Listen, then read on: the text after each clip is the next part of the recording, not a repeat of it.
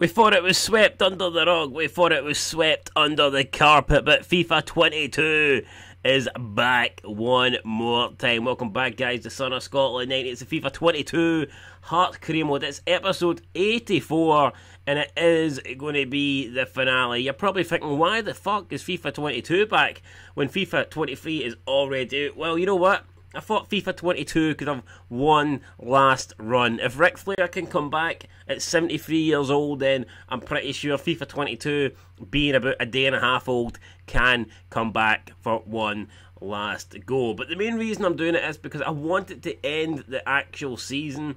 I want to get a bit of closure. I want to see where we finish, have a look at some of the stats. So that's pretty much the only reason why we're doing this. If you haven't seen my FIFA 23 Hearts Career Mode, you can check it out. We're two episodes in. Episode 3 will be getting uploaded later today. We've not got off to a great start. We've got one win out of four. I mean, it's it's not horrific. We've actually played okay in some of the games.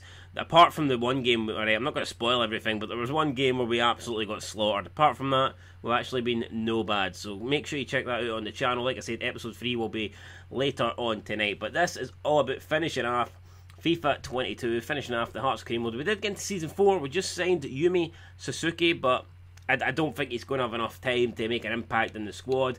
I'm not going to be playing any games here. We're pretty much just going to simulate it to the end, look at where we finish, look at the stats, look at like the overall statistics of the career, and then we're going to call it a day. It's a bit cheap. I don't like simulating games. I never simulate games. I play every single game. But let's be real, guys. There's 11 games left. I'm just not going to play 11 games of FIFA 22 when FIFA 23 is out. So I hope you can understand that. I think it makes perfect sense. And I could have just left it like this, but I thought at least simulating it to the end of the season, uh, to me it seemed better than nothing. So that's what we're going to do. We did have Celtic up next. I was looking forward to playing that.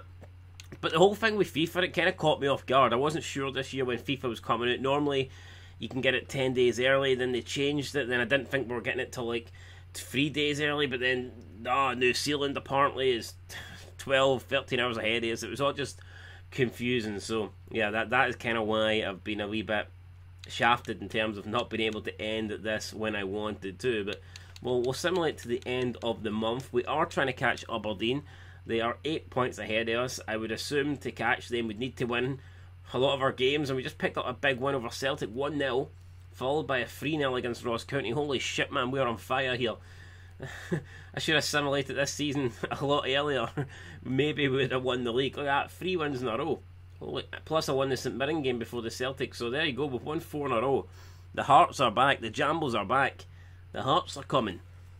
And uh, I don't know if Dundee can see them, but they've been scalped by them either way. So, I mean, tell you what, if Hearts had a march like this March, every single March, or even every single month, or whatever, then they would be unstoppable at the top of the league. Five games played, five games won.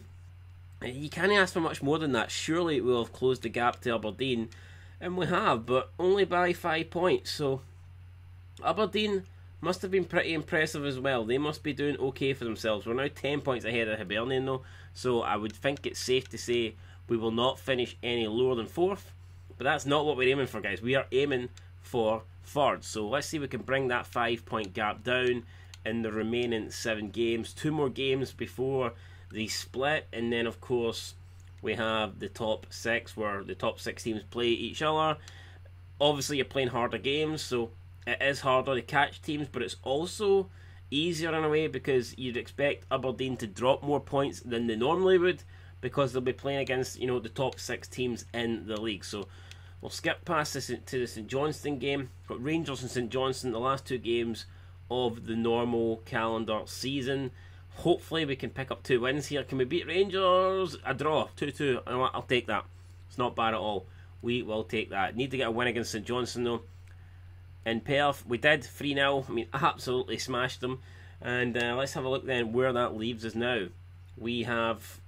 Oh man, Aberdeen were pretty solid there. Aberdeen won both their games, so we've, we've actually dropped points now. We're seven points behind Aberdeen with a 15 available. You know what? I don't think we're going to do it. I don't think we're going to do it.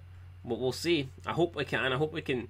If we win our last five, including a win over Aberdeen, which is a big six pointer, then that I think might be it might be enough. But you don't know the way Aberdeen's playing. there's no guarantee that they'll lose games. They could easily turn up and beat Rangers. They could easily turn up and um, you know beat Celtic. So we'll we'll simulate the next four games. I think the last game is against Hibernian. I mean, what a game that would have been. Would have loved to have been in a position to play that. Um, but here we go. Aberdeen, can we beat them? We did. We beat them 1 0. Maybe that gives us a chance. Gives us a small chance. But we're going to need results here against Celtic and Livingston to have any hopes, really. And will Celtic end our hopes? We drew 2 2 against Celtic, so I mean, we're, we're getting some really good results here since we started simulating this bad boy. Uh, Livy up next, a 3 1 win against Livy. So there you go, that's more points on the board. And unfortunately, it's not enough though. One game remaining. We got the gap down to four. Unfortunately, though, we beat Hibernian last match. You can't get four points no matter how badly you beat a team. The maximum you can get is three. So I'm sorry to say that, yeah, we ain't going to, we ain't going to be catching Aberdeen. So it's going to be a fifth place, a fourth place finish. Can we end it in style though? Last game of the series, we do 2 0 win over Hibernian, keeping a clean sheet. I am happy enough with that, guys. Uh, impressive victory there. I mean, the lads have done really well ever since we started simulating these games. I don't even think we've lost a match. So, if we could have just had that form when I was playing them, what a position we would have been in. Would have been challenging Celtic Rangers at the top of the table, no doubt in my mind. But if that's the season over, then we're going to have a quick look at league table. We're going to have a quick look at the top goal scorers and the top assisters, and we'll just compare the four seasons that we played. I think this would be our best season especially with all these games of seven towards the end. It uh, the, the amount of points our points tally for this season should dwarf what we done. It's our highest finish as well, so I would expect it to. I think last season we finished fifth, but we, I don't even think we got the sixty point barrier.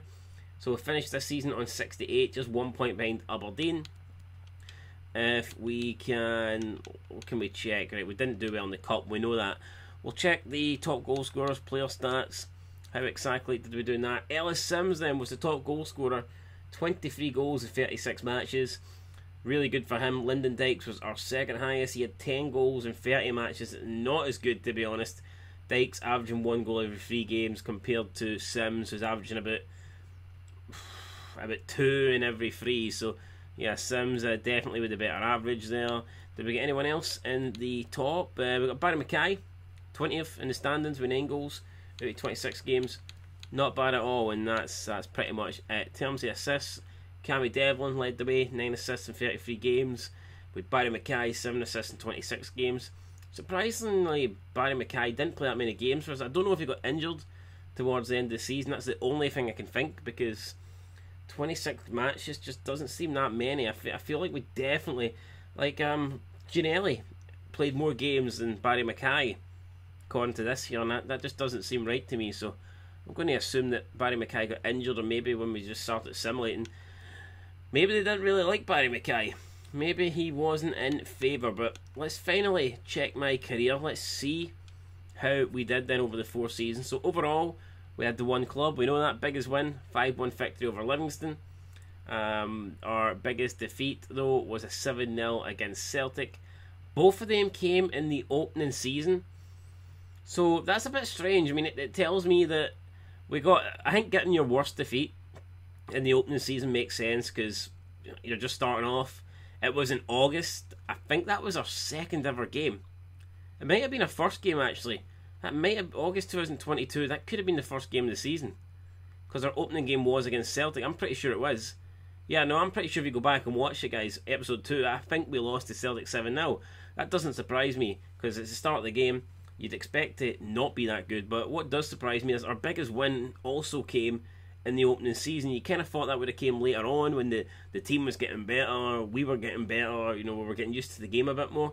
But it, it wasn't to be, so that's what it is. Record transfer fee was four million. Total earnings five point one million. According to this, we're rich man. We can just retire for life. We played 164 games. We uh, won 64, drew 35, and lost 65. So only one more loss than win. It's not great when you lose more games than you win, but like I said, not much in it, just the one. Scored 286 goals, conceded 340 goals, so conceding way too many goals there, and that is why we've struggled to win anything. In so let's have a quick look then at the season. Season Season 1, uh, you can see where did we finish? I can't remember where we finished. We finished in. It doesn't even tell you. It just tells you how many. Oh, finished ninth. Okay, so season one we finished ninth. What did we finish in season two? We finished ninth. So there was no improvement really from from season one to season two, which is a little bit disappointing. You would have thought we could have at least moved up a little bit. Uh, we actually got this exact same amount of wins and draws and losses in, in season one as we did season two, which is pretty insane. The only difference is we actually got a lot worse in terms of goal difference in season one. Our goal difference ended up minus 10, whereas in season two, our goal difference was minus 35. So we, we took a massive, massive decline in season two. Uh, then moving into season three, we finished fifth. It got us into Europe. We all know how that happened. Um, it was an okay journey. I wish it could have went a wee bit better, but I mean, not too bad. Come on, we, we got to get some European football, and that's a fifth place finish. And then in the last season, last but certainly not least, like I said, we enjoyed some Europa League conference. We beat Dundalk to qualify. We had a win over, I think it was Malmo in Sweden. It was a pretty good win, and it was our highest finish in the league, fourth. So. I mean, overall, guys, is it a success? No, definitely not. I mean, four seasons, and the best we've done was fourth in the league. Didn't win any silverware only qualified for Europe once, finished last in our European group. So obviously wasn't a success. Not claiming it was a success, but I think there was definitely signs that throughout the career we were getting a little bit better. Um, you know, in terms of league position anyway. So who knows? Hopefully, if we keep that trend going in FIFA 23, I plan on going 10 seasons. And if we go at this rate, if we if we have a slow incline, then who knows? Maybe by the end of the FIFA 23 career mode, we will be league champions. That's what I'm hoping. That's what I'm hoping. So, like I said, make sure you check that out. FIFA 23 is on the channel. This is it for FIFA 22, the finale, episode 84. We finished fourth. Our best season to date, and it's our last season to date. So, thanks for everybody who watched. Leave a like, leave a subscription, comment down below. I will catch you on the next one, which obviously will be the next one in FIFA 23. Because, like I said, this one's gone, this one's dead, this one's done, finished. Finito. Thanks for watching. Catch you later. Peace.